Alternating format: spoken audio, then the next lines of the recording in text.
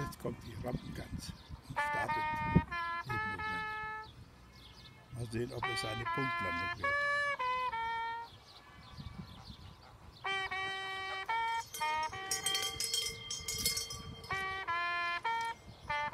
Das Kuhglocken-Echo war auch noch ein Gang.